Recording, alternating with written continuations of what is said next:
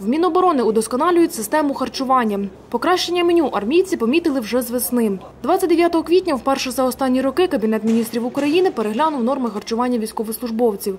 До раціону додано 50 грамів е, м'яса, 5 грамів сиру. Якщо, наприклад, е, до цього військовослужбовець отримував 200 е, грамів м'яса, то зараз він отримує 250.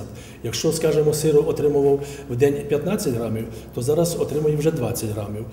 Ну і також додатково введено таку, такий продукт, як е, джем. І додатково ще також введено 50 грамів сала на день.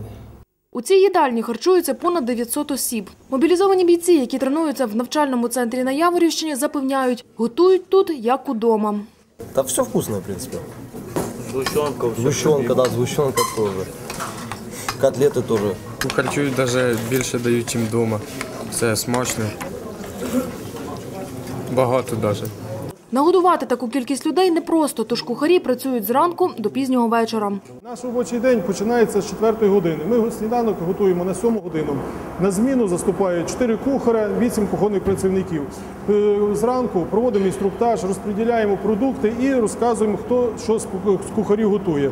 Меню кухарі щотижня узгоджують з військовими. Намагаються готувати поживні і корисні страви, аби їдальню воїни залишали ситими і задоволеними. борщ на перше, а на друге гречка з котлетою і салат з капусту і з м'ясом.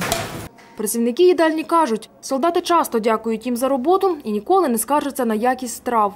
Навіть вдома от приходять мобілізовані і кажуть, що вдома так навіть не готують, як тут. Серед побажань армійців, аби влітку на столах було більше овочів і фруктів. Над цим в оборонному відомстві вже працюють. З 1 серпня у Львові та в Одесі стартує експеримент, під час якого буде впроваджено нову систему продовольчого забезпечення. Ірина Зінчук, Владислав Назаркевич, час ще.